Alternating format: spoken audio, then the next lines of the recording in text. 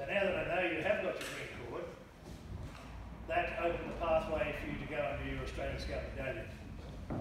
And for a lot of people here, they will understand and recognise the significance of the Australian Scout medallion. It's the highest award you can achieve in the Scout section. And the number of people that actually achieve that award is only around about two and a half percent of the scouts in scouting. So in any one troop, I only ever present maybe one or two medallions you know, during the during the year probably.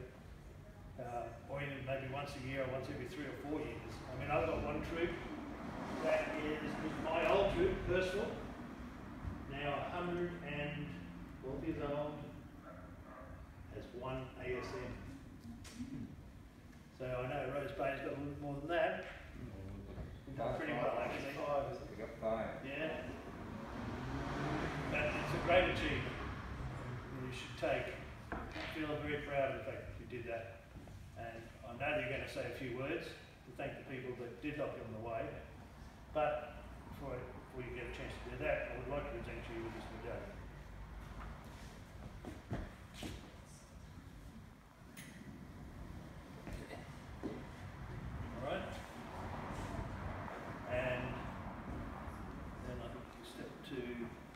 A bit more, a few more things go with this medallion. Yes. So this is the ASM badge. Um, so this uh, is sewn onto your scout uniform, but also uh, will now transfer onto your venturer uniform. It, uh, it goes on the, your left sleeve, to remove my but, but you, you'll put it onto your venturer uniform now and wear that with pride that uh, you've achieved this, um, this wonderful milestone in your scouting career.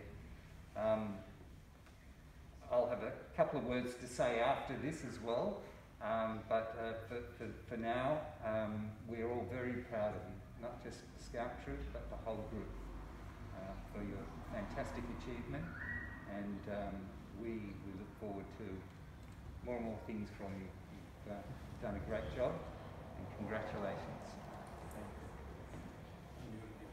This way. One more thing that goes with the um, ASM award is you actually get a certificate says, you know, congratulations, you've got a, uh, the Australian Scout signed by Peter as the Region Commissioner for Scouts and Hawkeye.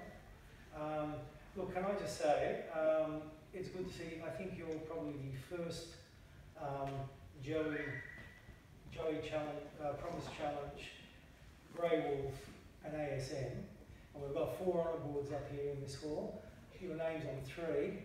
In about three years' time, I want you to see another one up there when you get the Queen Scout. But it's great to see how you've developed, from my perspective, how watching you develop from a Joey to a cub to a Scout has been really good to see. You've developed very, very well. I'm sure um, you'll, in a couple of years' time, we'll get that too. So, um, well done. Congratulations. Good to see you.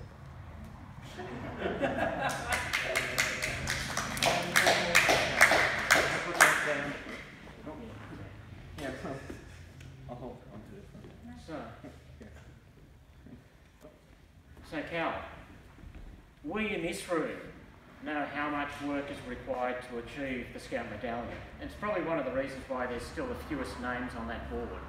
And um, more than one Queen Scout has told me that the, the Scout Medallion required more conscientious work and a lot more new skills.